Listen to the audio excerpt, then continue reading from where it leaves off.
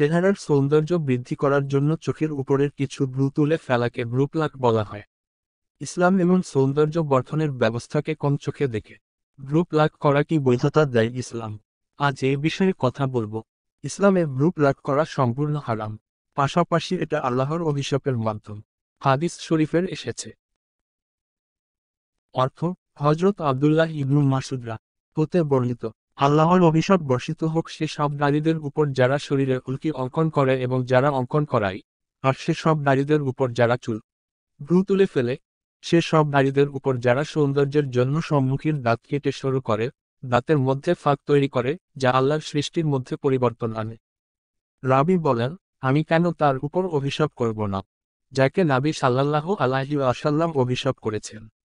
আর আল্লাহর কিতাবে আছে রাসুল তোমাদেরকে যা দায় তা গ্রহণ কর সুরা আল হাসর সাত, বুখারি পাঁচ হাজার সাতশো তেতাল্লিশ, মুসলিম দুই হাজার একশো পঁচিশ।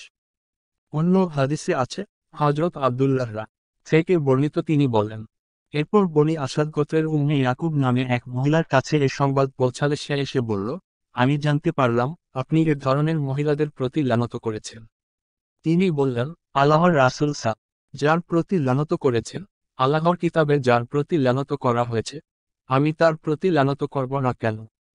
তখন মহিলা বলল, আমি দুই ফরকের মাঝে যা আছে তা পূর্ণ কোরআন পড়েছি।